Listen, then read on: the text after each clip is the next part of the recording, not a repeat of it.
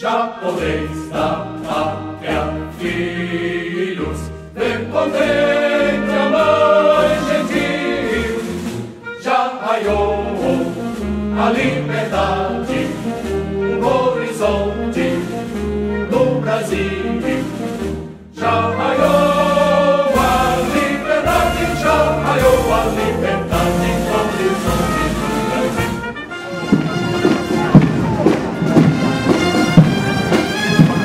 Boinas Azuis é o nome pelo qual são conhecidas as tropas multinacionais que servem nas forças de paz da ONU. Uma alegria a mais, né? Uma alegria a mais e ver todo o pessoal aí, todo, todo mundo contente aí por esse dia 7 de setembro. Eu vim aqui, em livre espontânea vontade, para divulgar uma intervenção constitucional de acordo com o artigo 142, é povo na rua clamando a intervenção militar e o exército vem atrás dando apoio, prendendo quem?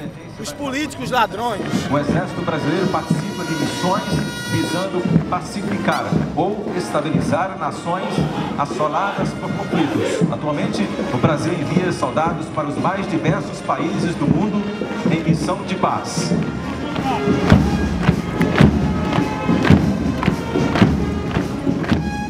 Se você pede impeachment, quem vem? Reinan está envolvido. Se você vem, Reinan Eduardo Cunha está envolvido. Presidente do Senado está envolvido. Presidente do Supremo Tribunal Federal também recebeu mesadinha. Até os, os juízes ladrões tem que ser uma coisa: exército. É o povo brasileiro pedindo que as suas forças armadas intervenham como polícia.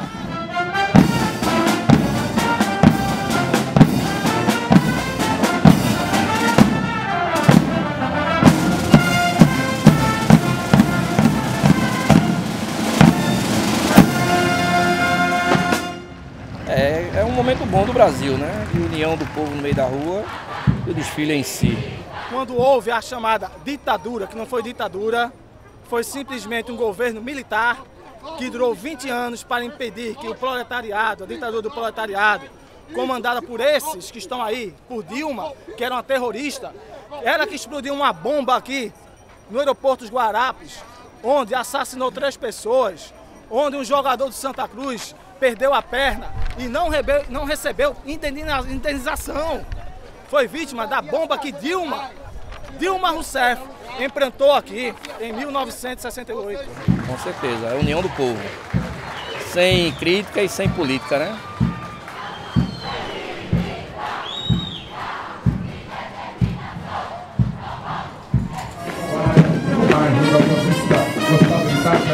pela organização saúde